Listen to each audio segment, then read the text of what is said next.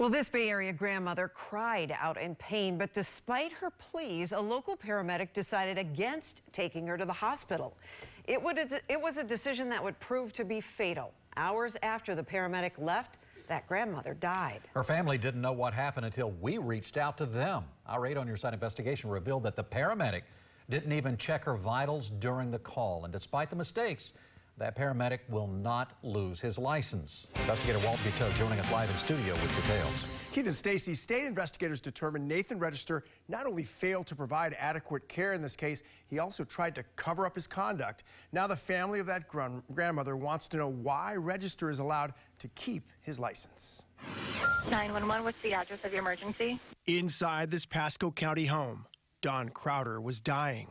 She just screaming in pain, holding her head. The 61 year old, remembered by her family as a bright light who loved playing with her grandchildren, had been staying with the Gracianos who called 911 after hearing Crowder yell. She's screaming with a headache and nausea. What did she yell? That she needs, she needs, that her head hurts. She goes, ah, like, you know, like you're screaming. But the Pasco County Fire Rescue Crew did not take Crowder to the hospital, leading to a second 911 call hours later after Crowder had passed away.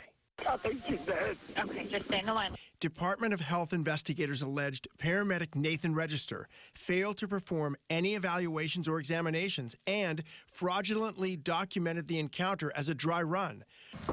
Register has not responded to our request to answer questions about why he decided not to transport Crowder.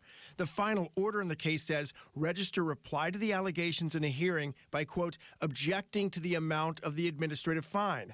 But the document states there are no material facts in dispute. Crowder's family members tell me they are frustrated and angry about what they say was a lack of punishment.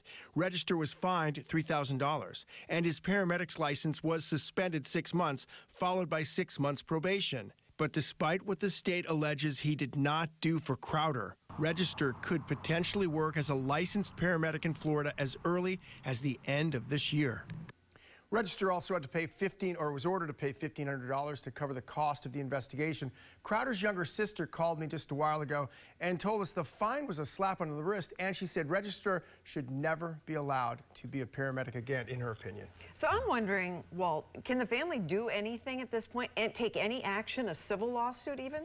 Well, so that sort of touches on a story that we've been investigating for a while. Crowder's family cannot sue due to the state's controversial so-called free kill medical malpractice law. Crowder's children are over the age of 25 and she was not married at the time of her death. So, you know, in one way that will keep some of the details of this case from coming out because, mm. again, we won't see a civil case and we won't see a criminal investigation. Wow.